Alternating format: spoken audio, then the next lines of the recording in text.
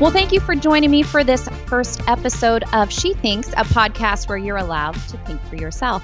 I'm your host, Beverly Hallberg, and I just want to let you know I'm delighted to be part of this podcast relaunch from the Independent Women's Forum. And I think it's fitting that our first guest for this first episode is Tammy Bruce. She's the president of the Independent Women's Voice, and she's a woman who definitely thinks for herself.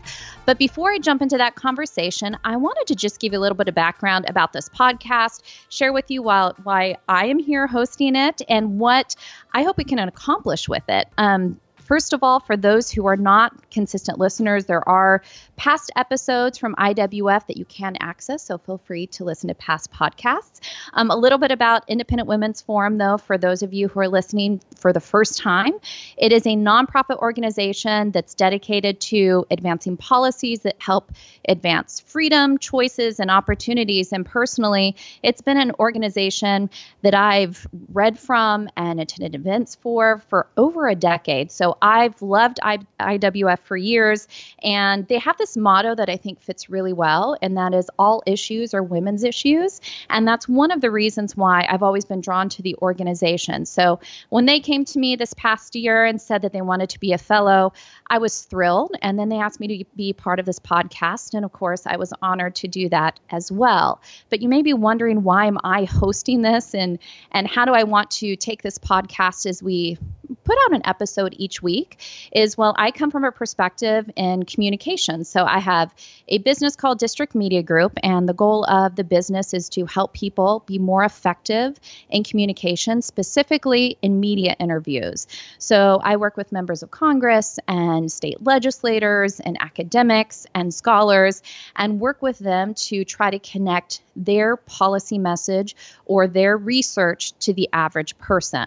So, one of the things I want to do with this podcast is hopefully put myself in your shoes, the listener's shoes, and ask the experts that we bring on, policy experts, to ask them questions to help us relate it to what's going on in our day to day lives. I know as a small business owner, things that I realized as I started a business were things like taxes and healthcare and fiscal issues became really important to me because as you run a business, of course, you have to face those things.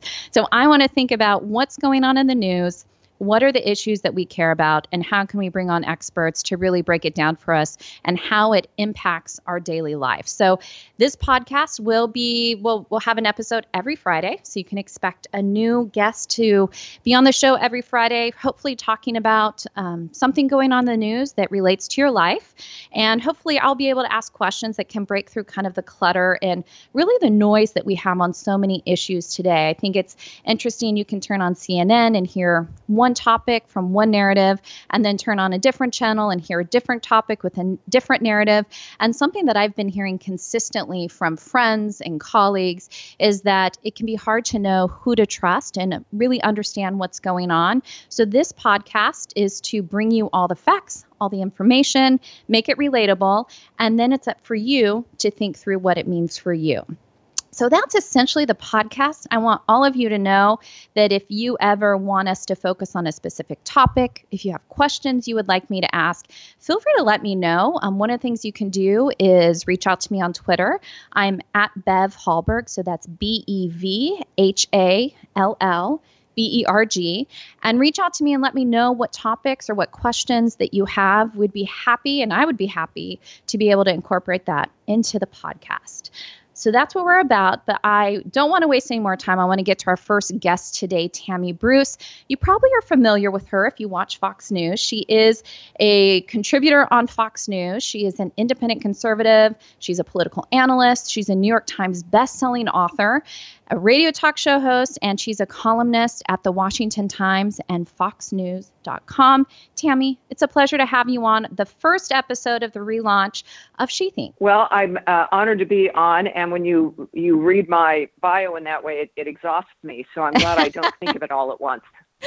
Yes. Well, one of the even in reading your bio, it doesn't even touch on some of the elements that I want want to get to today, which is your background and how you ended up where you are today, and um, being an influencer for so many women out there and on many different issues. But I thought we would start with for for those who are new, newly subscribing to the Independent Women's Forum podcast. Of course, we re- rebranded it. She thinks.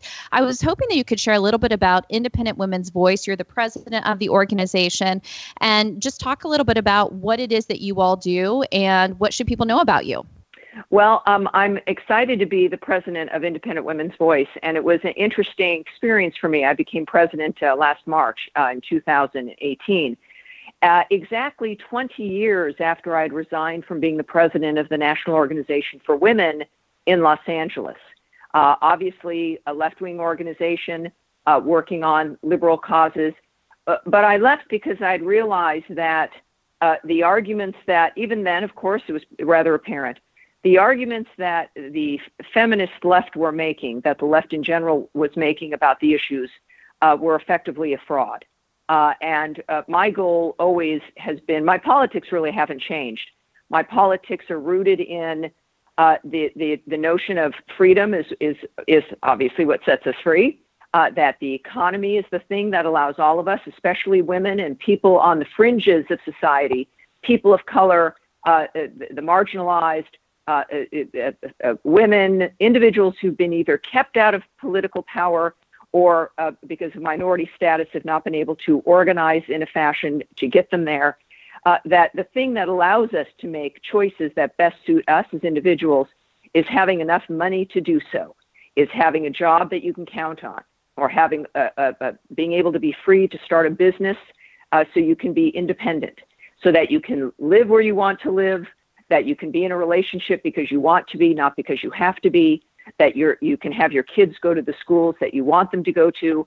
And all of these things can be achieved eh, being in the middle class in this country. You don't need to be you know a bazillionaire to to have these things. These are very basic things we should be able to uh, expect so, in coming from the left, the argument always was that you know government and restrictions on people moving through from a victimhood framework was the thing that would uh, somehow set people free.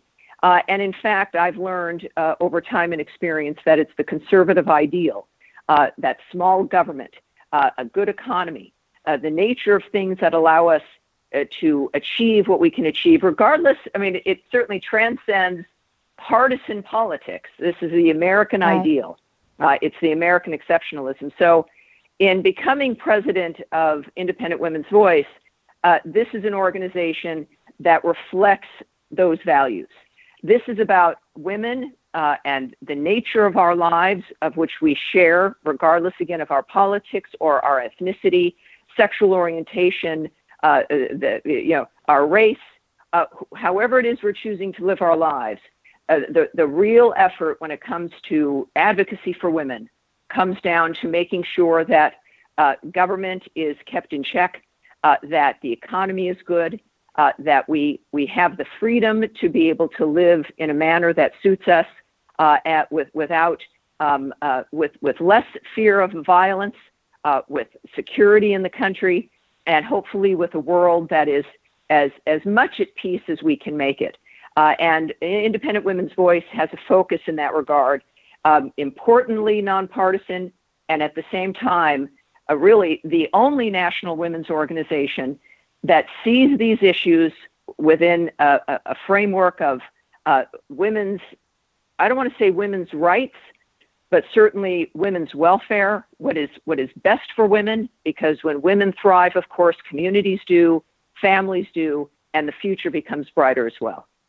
And I'm personally thankful for the work that you've done, what the organization has done. As a small business owner, I can say that even though I had a certain way of looking at the world, even growing up, and as I entered in my career, there was something about starting a business and seeing the day in and day out taxes and costs and regulations where you start realizing where you stand on certain issues. So I think it's amazing that just the evolution that you've had so much and how you view who handles these issues best. Is it government or is it an mm-hmm. individual? Mm-hmm. I'm curious for you because many would listen to this and say that's a big switch to go from running a chapter of now in Los Angeles to where you are today. Was there was this a slow evolution in thinking about this or was there can you pinpoint a certain time where you just knew okay, that doesn't align with my values. What what yeah. what I was part of doesn't align. Yeah, you know, two things. One, I started doing a radio talk show in 1993, right in the middle of my tenure at Now, at a station called uh, KFI in Los Angeles. And I was told by my feminist sisters and uh, the liberal community to not do it because talk radio was evil uh, and it was a station with Rush Limbaugh and that it was a trap and that conservatives were evil. And I, I took the job because I'm a curious person and I found that in talking with effectively conservatives every day over the phone on radio, that they were not as they had been portrayed to me. And we still disagreed on many of the issues, or at least I, I felt that we did. Uh, but there was a genuine um, curiosity on their part, a genuine willingness to talk about the issues. And that became an education for me on the issues. But secondarily was the Clinton Monica Lewinsky situation which for me clearly was an abuse of power, uh, was clearly classic sexual harassment. The, the, the, the power differential was remarkable. Um, and uh, I watched the Democrat women, uh, Hillary Clinton. I had worked on the Clinton campaign in 1992, and I watched them try to destroy that 20 year old girl. I watched them come out onto the lawn of the White House talking about how great Bill Clinton was. We all watched him lie to us in various press conferences. And in the meantime, their focus was in trying to destroy that young woman's life and character in order to protect him. That was not feminism. That was not liberalism. It was not what we were told was happening. It's not who we were told they were. And it, it occurred to me, and you don't need to be Einstein, that uh, people were being lied to and certainly activists on the left, feminists had been lied to, that if we were really concerned and committed to improving the quality of women's lives, that even if this happened, because people make mistakes, people do, um, but even if this happened, the reaction uh, would have been inherently different if we weren't dealing with frauds. Ironically, of course, we've got a similar situation here now, right, with right. Joe Biden and the issue of sexual harassment. So for me, that was a huge aha moment.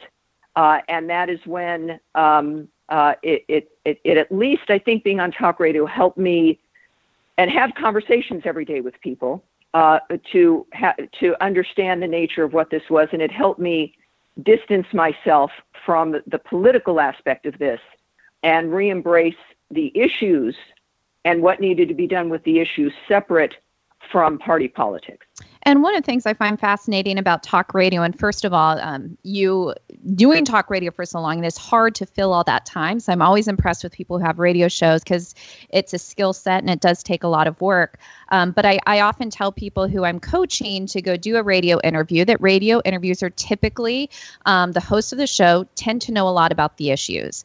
And there's a reason why there are, are so many libertarian and conservative voices in talk radio. And I think the reason is, is when you do talk about the issues and you do get in depth and you do have mm-hmm. to wade through the pros and the cons of, of areas, you actually mm-hmm. tend to lean more conservative just because you know so much. Um, it's really getting into those issues that that matter. And I'm curious to for you as you went through this switch what was the pushback like from your friends, maybe from family, obviously from colleagues? Was that a hard thing for you? Because I think there are times, and as women, but just as people, is we don't want people to be upset at us or to have to question us. How did you handle mm-hmm. that period sure. of making such a big switch? Well, you know, what's interesting is I think whenever, as women, whenever we're uh, vocal and um, direct about things, it tends to rock the boat a little bit. Um, there haven't been a lot of women in talk radio, I argue, in part because we do communicate differently. 85%, some studies have indicated 85% of our communication as women, as females, is nonverbal. And so our talk radio is a, is is a obviously a medium where we lose the visual and the ability to convey uh, what you need to convey in a spectrum of emotions and and all of that, minus the uh, physicality. Uh, you know, that seems to be to some degree more suited for what has been considered a male approach in communication. I contend that a great deal of that is training. That is women because most people are larger than we are, and and we tend to you don't want to get into fights with creatures who are larger than you. We've tended to learn how to communicate in different kinds of ways that that will be perhaps sometimes less provocative. Talk radio and certainly broadcasting, I think in general, re- requires a, a, a direct way of communicating. And I think that's been a, a, terrific education for women and girls and it's not right for everyone. All of us communicate in different ways, but it's a very, very good lesson about the fact that women can do certain things that we were told only men can do. Right. Uh, for a long time, uh, women, you never saw women as television anchors for the news. And it was because their voices weren't deemed to be authoritative enough. Well, we broke that ceiling as well. So I think that it's a matter of um, making sure that we have models who are doing things. And, and when it comes to people being upset at transitions, you know, my work has always been based in kind of trying to move things along and changing a status quo. So I'm, I'm used to people kind of being upset a little bit. Uh, and over the years, and I think I've, I've gotten better at it, um, uh, is learning about communication and a, a, real way to persuade and to convince people. And, and what you said earlier was absolutely right, is that for talk radio and for longer conversations, you must care about the details of the issues.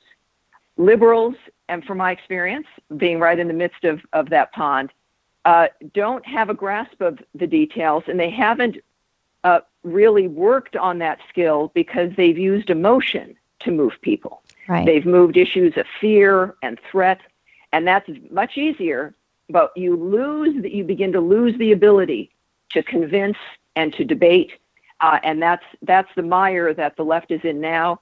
Uh, and this is why on the issue of convincing people and persuading and talking about the issues that we face, uh, this is why uh, uh, I think women indulging in this kind of communication is important, and it's why conservatives, uh, if they get out there and make the case for their issues, as we do at Independent Women's Voice, then we make a huge difference because it works. It does, and I think it's it's a combination of things. It's you're you're talking about how liberals are very good at an emotional argument. I completely agree with you. I think often conservatives only make a technical response because their whole goal is if you just if I just educate you, then I'll change your mind. Mm-hmm. And that's not right. the case. Education does matter in explaining what's going on, but if you don't connect it to why people should care about it, then it's going to fall mm-hmm. flat because the emotional arguments are the ones when when a person can see that how it's going to impact them and it seems that somebody cares about them that's what people are drawn to so i i always admire people who can bring in the proof the facts but also be able to connect it to people and say here's why it matters and i do care I do care. Um, so I, I think the art of storytelling is something that women tend to do better than men. And I think it's mm-hmm. great when we have women out there who are conservatives who are making or giving compelling arguments, especially, I'm going to bring up a term you used earlier, with feminism, I think poorly defined these days or not accurately defined. So I'm curious from you, the term feminism meant something different years ago um, I think the term has been hijacked um, by by the left. They think it means one thing. I would say it means another. Where where are we with the term feminism and what most people think of it? And where should we should we be using it and trying to change the definition or the false false mm. definition that people think it is? You know, it's interesting because obviously my my work in my adulthood was wrapped up with that term, and it, it's interesting. What the left also does is that they they, they have a, a bit of a vagary about terms, allowing their targets to then project onto them whatever it is they want to project onto them. But uh, recent polls, interestingly, show that the American people, women and men and all different parties from all different walks of life, don't like that term. uh, maybe I think it was less than 15% wow. of, of, of, of people or either identify as feminist or, or think positively of that term.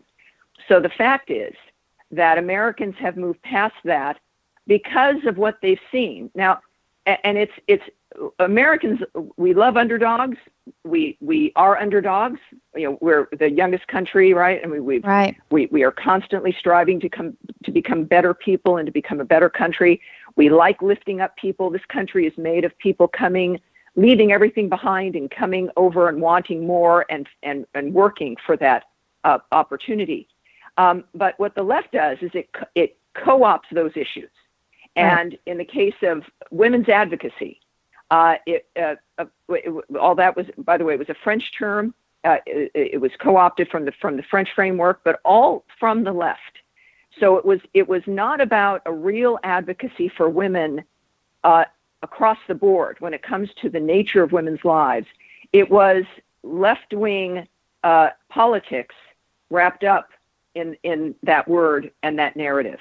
And and when when that happens, then you're suddenly going to realize, as the American people did, that the so-called feminists weren't advocating for women; they were advocating for liberals. And that became apparent when, as an example, Kay Bailey Hutchison was running for Senate in Texas, and Gloria Steinem declared her quote not a real woman because of her politics.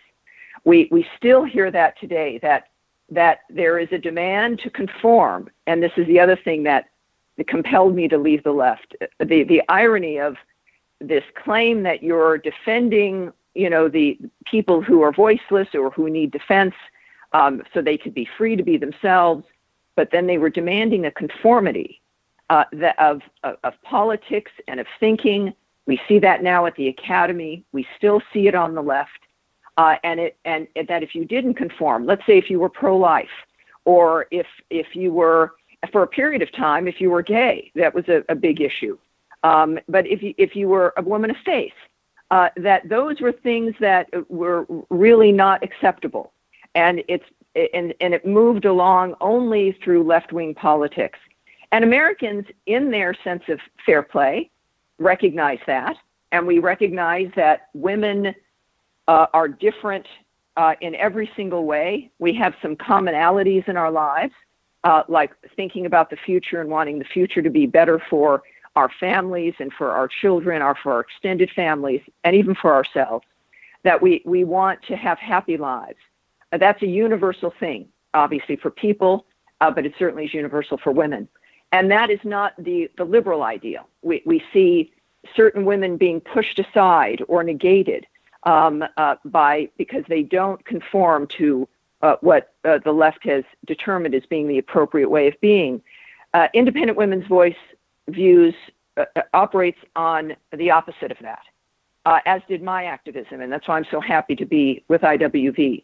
My goal then as a feminist, and we I think we should jettison that term because it is it just is it's not even functional at this point.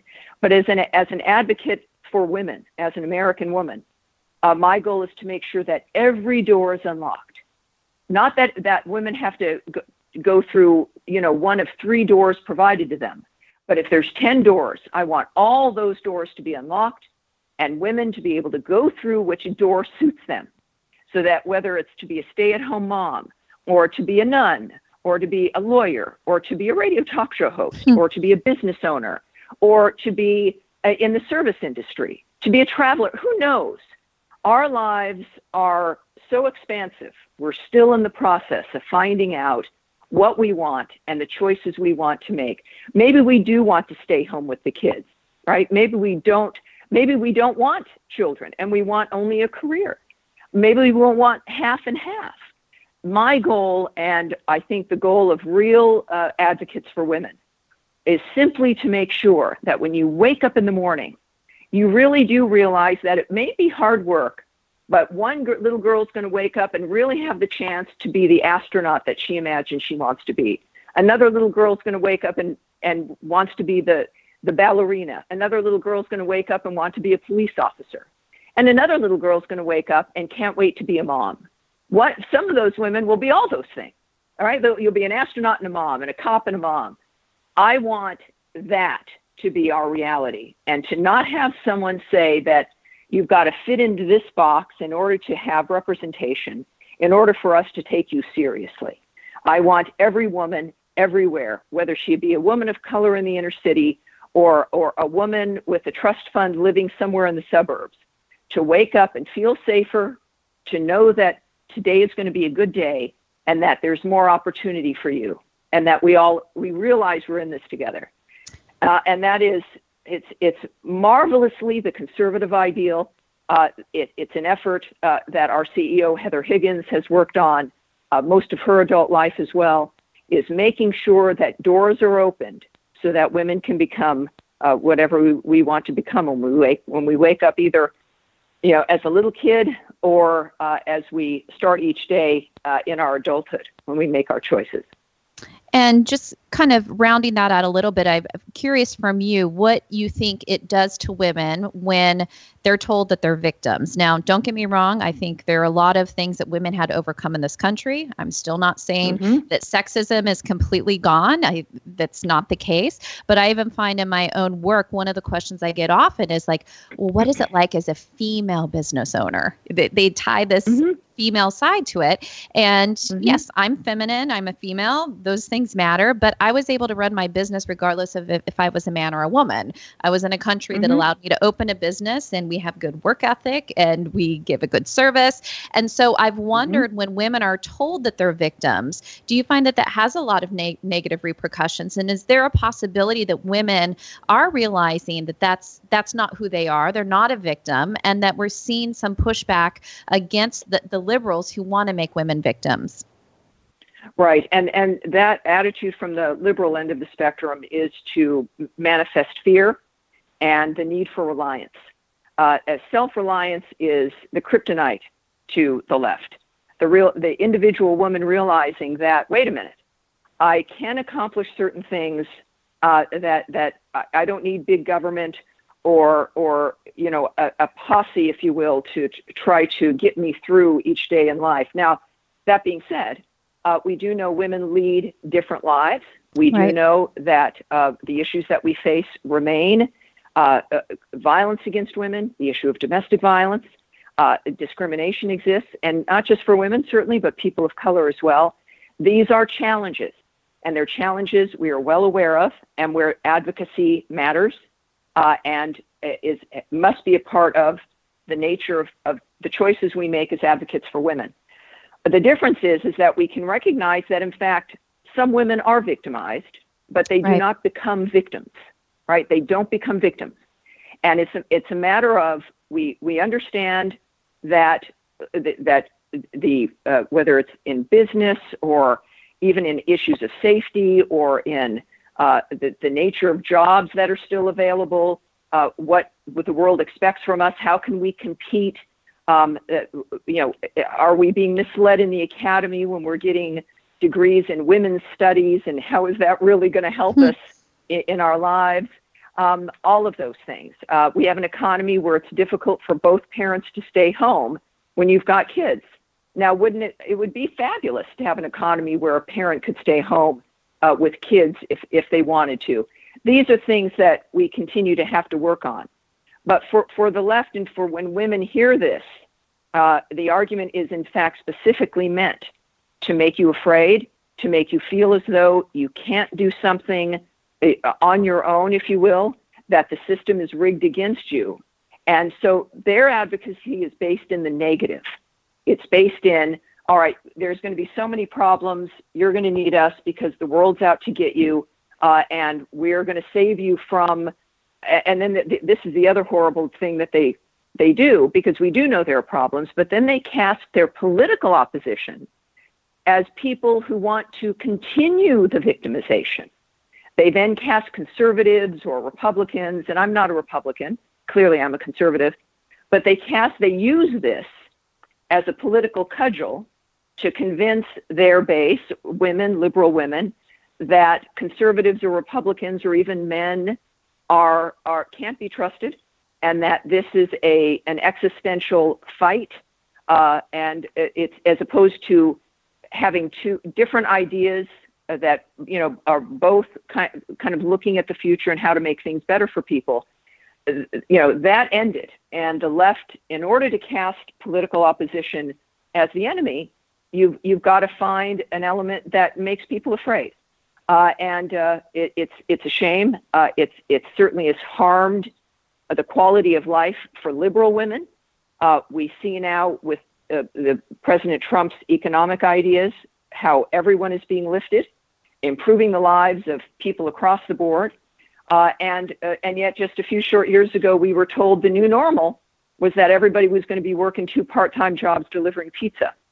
Um, so so uh, you know, for American women, uh, it's it's not pretending that you know our lives because our lives are not like men's lives. You know, we do lead different lives. We have different concerns, different experiences with life, but I think that it's a matter of recognizing that um, uh, our lives are not based in victimhood, that that we we can work and succeed and excel, while also at the same time working to make sure that the issues that need to be addressed, like violence against women, domestic violence, um, uh, education concerns, uh, uh are and the seriousness of of of uh, how we're how we're dealt with in politics and the opportunities that are there um, uh, I think we can do both. And you can do it with strength and with confidence, uh, with mentors and with role models, and at the same time, be honest about the nature of our lives. So, final question for you to go uh, um, opposite than what liberals do, which is focus on the negative. I want to focus on the positive. Thinking about this upcoming year in 2019, what would you say is one of the positive policy changes that you think can happen this year that would benefit women? Well, you know, the president, as we, as I've mentioned a great deal about the issue of uh, of, of, safety uh, and uh, even school safety. One of the things that our nation is dealing with is the opioid crisis. Right. Uh, is uh, the concern that women have when they send their kids off to school, and the drugs that are involved in our cities. Uh, the, the nature of the quality of, of the lives of, of our children, and if they're at risk every day, the number of overdoses with fentanyl and heroin is overwhelming, more than the combined uh, uh, death total of the entire war in Vietnam. Uh, and it's, it's frightening that as the president succeeds in, on, as an example, dealing with the opioid crisis and moving that out of, uh, out of our communities, uh, dealing with MS-13, which is a big propagator of uh, the distribution of drugs in the inner city and in our communities, that affect women and their children, especially if you're a single mom and you go off to work and your kids going off into that world. Getting get those gang members off the street is a remarkable achievement. They continue on that. This is why the, the border issue is important because that also addresses the, the drugs that are coming into this country and the gang members, the sex trafficking, uh, et cetera. So the, when the president talks about, and when we have, have a government that would take seriously border security, dealing with gangs, especially tr- a transnational gang like MS-13, uh, and um, uh, the, the, the, the, drug abuse in general, uh, we're going to be, our families at least will be safer, and our children w- will, will be safer as well. There's that, and then there's uh, the administration's effort on uh, women in the workplace.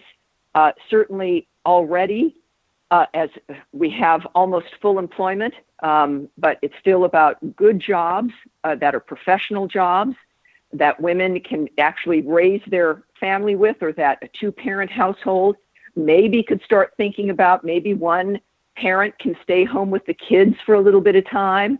Um, things like that um, are underway. Uh, and uh, so it's at the core of the issue of the, the drugs and violence and uh, the safety of our children, in addition to the jobs that we get, uh, making enough money as women and as parents, or or uh, uh, whatever our role in life is, and our future, our professional futures. So I think that is the president's current agenda continues, and if the obstruction uh, can end from both sides of the aisle when it comes to this kind of remarkable political change that President Trump recommends, uh, that this also is not about even a Republican agenda versus a Democratic one. It's an agenda for the American people, and it's one that women, regardless of their political position, can embrace uh, because we all win when these kinds of uh, agendas pass and get through and just hearing about that, one of the things that stood out to me is you're absolutely right. These can be very easily bipartisan issues and people coming together yes. and working together on it. And and I know that's what you crave. That's what I crave is for us to stop all the fighting and actually figure out we have a lot of the same goals in mind, which is we want safety for our kids and for our families, and we want people to live prosperous lives. So, thank you for the work that you've been doing to try to bring the message out to people. For those who do not follow Tammy on Twitter, you can follow her at eight Hey Tammy Bruce. Um, so, do follow her there. But, Tammy, thank you so much for taking time with us today. Oh, great conversation. I really appreciate it. Thank you very much. And thank you all for joining us. We hope you took away something new from today's conversation. And please, please, please, if you enjoyed this episode of She Thinks or just like the podcast in general, we would love it if you would take a moment to leave us a rating or a review on iTunes. They do make a difference, so help out. Um, this is, helps ensure that our message reaches as many Americans as possible. So share the episode, let your friends know where they can find more She Thinks episodes on their favorite podcast app. And from all of us here at the Independent Women's Forum, thanks for listening.